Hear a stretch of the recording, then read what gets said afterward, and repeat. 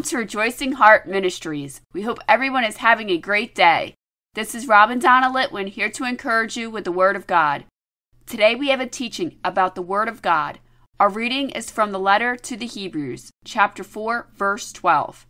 For the Word of God is quick and powerful and sharper than any two edged sword, piercing even to the dividing asunder of soul and spirit, and of the joints and marrow and is a discerner of the thoughts and intents of the heart. Today's teaching is called the Word of God. Our reading starts with the writer of Hebrews stating that the Word of God is quick, powerful, and sharper than any two edged sword. The point the reader is trying to get across to everyone is that the Word of God, when spoken out, is alive, powerful, and able to slice up any evil in this present world. He continues on to say that it is even able to divide between soul and spirit and joints and marrow. This is an incredible statement when you think about dividing your soul and spirit or your joints and marrow. The writer finishes this verse by saying that the Word of God is a discerner or it is able to perceive the thoughts of your heart. The Word of God is alive, and when you read it, it is not just a book that you read and put aside for another time. It has a very special way of changing people when they continue to read it. It becomes alive and speaks wisdom to you in your heart. Proverbs chapter 4 verses 20 through 22 tells us more about the word of God and its power. My son, attend to my words, incline thine ear unto my sayings. Let them not depart from thine eyes, keep them in the midst of thine heart. For they are life unto those that find them, and health to all their flesh. This proverb is telling you that when you read the Word of God, the Holy Bible, it is life to those that do read it, and also it brings health or healing to your flesh. Joshua wrote that you should meditate in the Word day and night, for this will make your way prosperous and you will have good success. The Apostle John wrote in the very first verse of his gospel about how significant the Word is.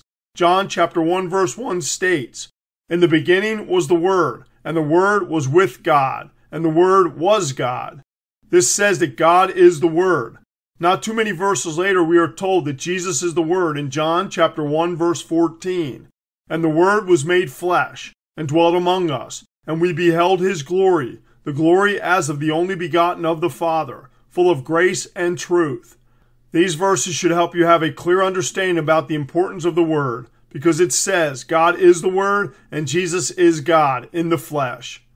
God lifted Jesus up above everything. The Apostle Paul told us in his letter to the Philippians, chapter 2, verse 9 Wherefore God also has highly exalted him and given him a name which is above every name. Jesus' name is more powerful than anything, which means that the Word of God is more powerful than anything, because Jesus is the Word that became flesh. Knowing this, you can show how powerful the Word is for you when you believe in Jesus as your personal Lord and Savior. The letter of Paul to the Colossians, chapter 2, verse 10 says, And ye are complete in him which is the head of all principality and power. Here, Paul tells you that you are complete in Jesus, meaning that because of Jesus, you have the same power as Him when you believe in Him. When you do believe in Jesus and you pray in His name, there is nothing more powerful to fix anything in your life. When you put the Word of God in your heart by reading it and meditating on it, you will see yourself change. And when you call on the name of Jesus, you will see it work for you more and more by the faith you grow from being in the Word of God. The Apostle Paul confirms this in his letter to the Romans, chapter 10, verse 17. So then faith comes by hearing, and hearing by the Word of God. The Word will change you if you allow it to. I had a friend that was being harassed by a coworker because he was a believer. My friend's coworker would come to work every day and ask him questions about things in the Bible to try to argue against the Word of God. My friend said that this got to a point where he couldn't even answer all the questions that this guy was asking him. This went on for months, but what my friend didn't realize was that this guy was looking for an argument in the Word every day. He was going home and reading the Bible to come back the next day to ask him another question. After about six months of doing this, this guy who was totally arguing against the Word became a believer. The Word of God changed this guy's heart, and he had no idea it was happening to him. This is an awesome display of God's power through His Word. This is only one way the Word will change you, but there is so much more it can do for you.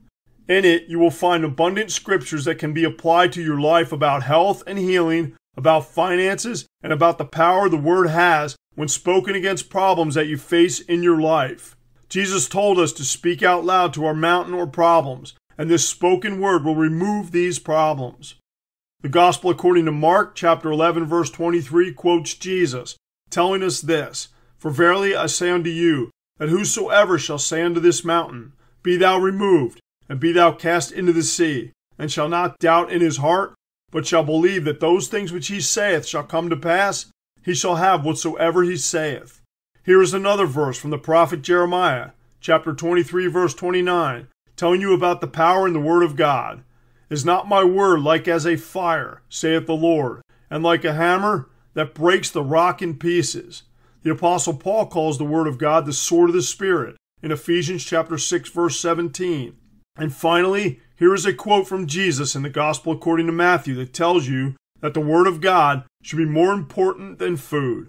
Matthew chapter 4 verse 4 says, But he answered and said, It is written, Man shall not live by bread alone, but by every word that proceeds out of the mouth of God. Father, thank you for your word. Help us to a place where we focus on your word to allow it to change us. In Jesus' holy name, amen. Thank you for listening to Rejoicing Heart today. If this teaching has blessed you, please consider becoming a monthly partner to help us increase the ways we are proclaiming the Word of God. This is easy to do. Just visit our website at rejoicingheart.net. We thank you for your support.